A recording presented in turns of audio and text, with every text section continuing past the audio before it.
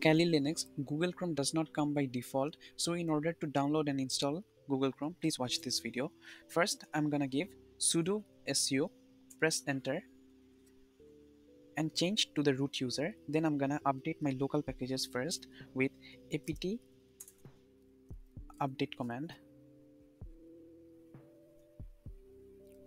After my update is done, I will go to my browser, open a new tab and type in download Google Chrome, press enter.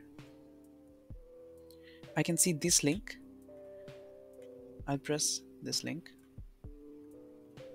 Click on download Chrome and it will ask me two options. Go for the Debian Ubuntu 64-bit. Click on accept and install.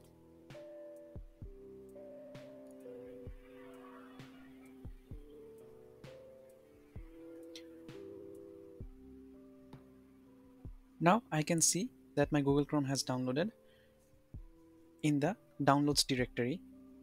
I will move to the downloads directory with the cd command.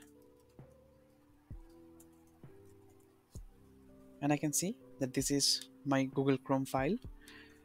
First, I will change the permission to make it executable.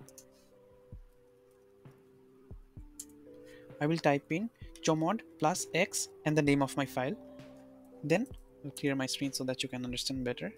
Then I will type in dpkg space hyphen i and the name of my file.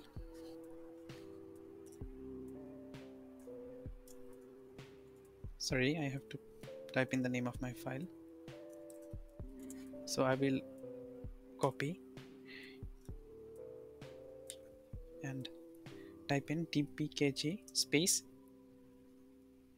hyphen i and paste in the name of my file. Press enter.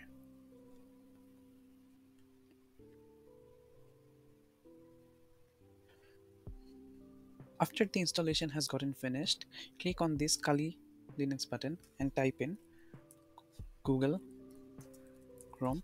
Click on the Google Chrome icon. If you want to make it default, keep this button as checked but I do not want to make Google Chrome as default so I'll uncheck this button and click on OK and now you can use Google Chrome in Kali Linux.